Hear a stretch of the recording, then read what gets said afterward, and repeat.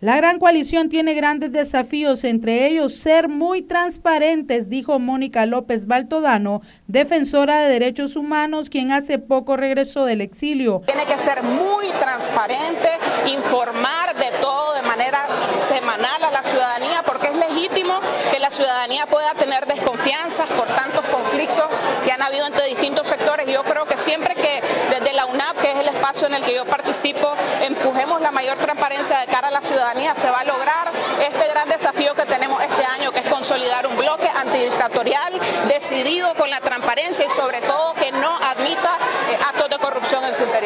Mónica López también se refirió a la situación que están viviendo los nicaragüenses en Costa Rica a raíz de las protestas de abril del 2018. Este, realmente hay una crisis humanitaria terrible. Yo les quiero decir, o sea, en el trabajo que nosotros pudimos hacer allá, eh, nuestra mayor insistencia era que todas las instancias internacionales que deben de responder a esta emergencia humanitaria entraran a funcionar.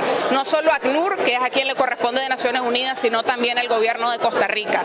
Son más de 80 mil nicaragüenses en condiciones graves. Logramos, por suerte, que la CIDH pudiera visitar a la población campesina que está asentada en condiciones muy precarias en el norte de Costa Rica para que pudieran ver la situación diferenciada de los sectores rurales, este, que tienen muchísimo menos posibilidades de encontrar trabajo y medios de vida en Costa Rica. Entonces, realmente nuestro empeño también es que esta coalición asuma con seriedad la lucha por los derechos de la comunidad exiliada. Son miles de nicaragüenses sufriendo hambre, sufriendo pobreza, no teniendo condiciones para resolver sus necesidades médicas más elementales y creemos que esa debe ser un pilar de la coalición. Así como luchamos por la recuperación de libertades y liberación de los presos políticos, tenemos que luchar porque la comunidad exiliada nicaragüense pueda volver y sobre todo que los países en donde están sean tratados con la dignidad humana que se merecen.